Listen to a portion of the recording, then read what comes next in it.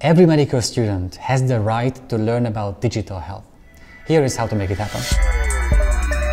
This is Bertalan Meskó, and you're watching the channel of the Medical Futurist.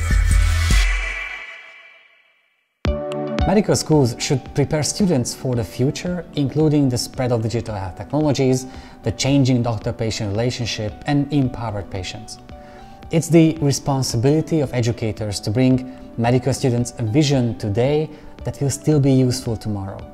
I had a course at Semmelweis Medical School in Budapest called Lessons in Digital Health, where I reinvented my own curriculum to be up to date and meet students' expectations. I will continue to teach it next September too.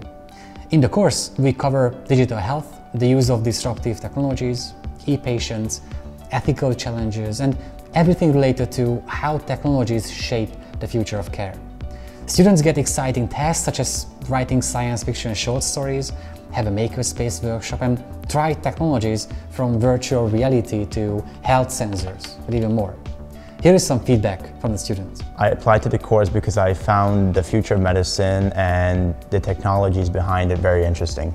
My approach to medicine changed uh, after this course. Based on this course and after attending it, uh, my approach changed a bit uh, towards the medical aspect of technology. I found it very much interesting and I found how critical it is to have that technology involvement in medicine and uh, I started personally using a lot of, uh, lot of applications for my training after attending this course. As technology is growing and uh, we need that science of medicine to uh, incorporate that technology in itself and try to grow with the fast forwarding technology inventions. I think the the cortex or the, the, the surrounding of medicine will maybe change and the clinics will maybe change, the technology in the clinics will change, but the essence of medicine will forever forever ever I think stay. My suggestion to students who are going to take this course, it's an amazing course. I highly recommend it.